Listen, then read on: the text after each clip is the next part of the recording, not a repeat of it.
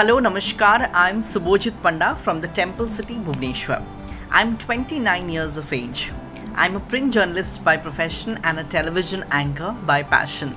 The title of the poem is The Dawn of Fall. Yes, The Dawn of Fall. Here it goes. The blazing summer is bidding adieu. The nature braces up for a spectacular view. Thoughts of receding summer excites the mind.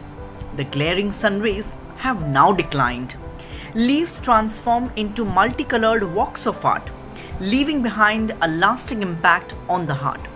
Nature morphs into a stunning canvas, getting ready to be painted with varied brushes. Temperatures drop to the tune of leaves falling. Myriad activities comes to the mind crawling. Farmers welcome the fall with full gaiety, marking the beginning of new opportunities and prosperity. The sky never looked so splendid before, creating a delusion of fable or folklore. Bouts of rain bring respite to the soul, making it a delightful affair to walk, run, and stroll.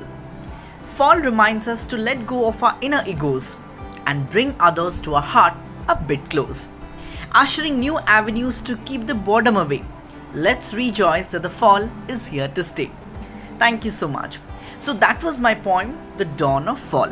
I hope you all liked my poem.